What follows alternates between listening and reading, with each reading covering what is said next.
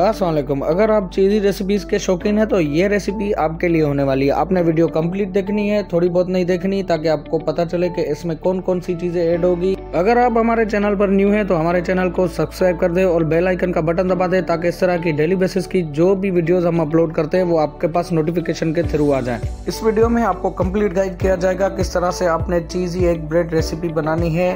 ये बहुत ही आसान रेसिपी है, घर पे बैठे आप बना सकते हैं। चले, बगैर किसी टाइम वेस्ट किए चलते हैं अपनी रेसिपी की तरफ़। हम एक बाउल उठाएँगे, एक बाउल में तकरीबन दो अंडे इसमें ऐड करेंगे, उसके बाद हम ऐड करेंगे उसमें नमक, हसबे ज़रूरत, उसके बाद हम इसमें ऐड करेंगे काली मिर्च, हसबे ज़रूरत जितनी आप तीखी पसंद कर सकते हैं। उसके बाद ऐड करेंगे गरम मसाला थोड़ा सा, गरम मसाले से टेस्ट अच्छा आएगा। उसके बाद हम इसमें ऐड करेंगे कुटा हुआ धनिया जो कि टेस्ट ज़्यादा अच्छा करता है, उसके बाद हम इसमें ऐड करेंगे लाल मिर्च पिसी हुई। इन सबको ऐड करने के बाद हम इसको अच्छे तरीके से मिक्स करेंगे। याद रहे, हर चीज़ अच्छे से मिक्स होनी चाहिए, नहीं तो आपकी रेसिपी कहीं से तीखी होगी तो कहीं से खट्टी होगी। ये चीज़ का आपने खास ख्याल रखना है। उसके बाद हम ब्रेड के पीसेस लेंगे। दो एक में तकरीबन अगर हम छोटे ब्रेड लेते हैं तो वो तीन इसमें ऐड होंगे। अगर हम बड़े मीडियम साइज़ लेते हैं तो वो इसमें दो ऐड होंगे। अगर हम जंबो साइज़ लेते हैं फैमिली पैक तो उसका एक से लेकर डेढ़ ब्रेड होगा। उससे ज़्यादा हम ऐड नहीं कर सकते। इनको कट करने का तरीका मैं आपको सिखा रहा हूँ। इनको इस शेप में कट करेंगे और ये तीनों ब्रेड हम एक ही शेप में कट करेंगे।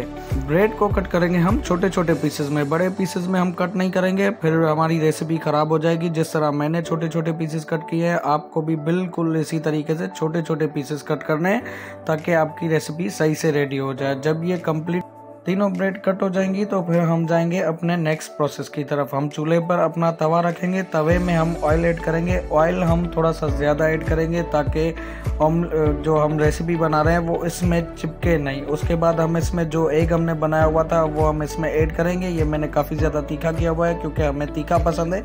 आप अपने हिसाब से बनाइएगा, जैसा आपको पसंद है।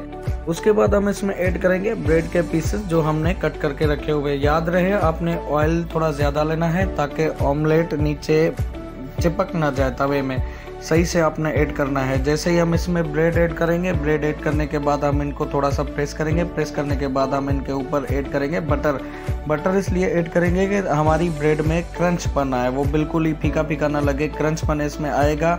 जब ये नीचे से बिल्कुल फ्री हो जाए, चिपके ना तो फिर हमने इसको अपने जो ऑमलेट है चीज़ी रेसिपी है, उसको हमने उलट देना है। उलटने के बाद हम इसको तवे से उतार भी सकते हैं। अगर चाहें तो आप तवे पर ही रखे रखे। कुछ चीज़ें मैं आपको बताऊँगा, इसमें ऐड करनी है। मैं इसको उतार रहा हूँ क्योंकि वीडियो बनानी है। वीडियो बनाने के दौरान तवे पे जल जाएगा ये।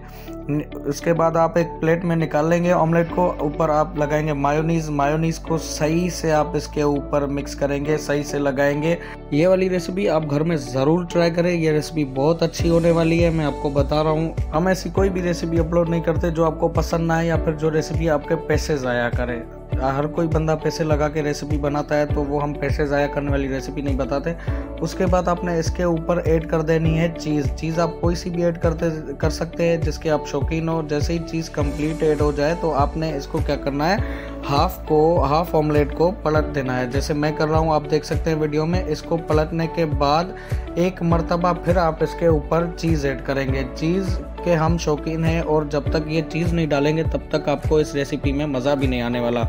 चीज़ कंप्लीट ऐड करने के बाद ये प्रोसेस आप तवे पर भी कर सकते हैं। मैंने आपको बताया था, जैसा आपको सही लगे, अगर आप प्लेट पर करना चाहें, उसके बाद हम इसमें ऐड करेंगे हरी चटनी। हमें हरी चटनी ज़्यादा अच्छी लगती है। अगर घर की बनी हुई है तो वो भी, अगर बाहर की है तो वो भी ऐड कर सकते हैं। इसको केचप के साथ भी खा सकते हैं। झटपट से ये आपका चीज़ी ब्रेड एक रेसिपी रेडी हो गई। चलो मिलते हैं नेक्स्ट वीडियो में। तब तक अपना ख्याल रखिएगा। अल्लाह हाफिज़।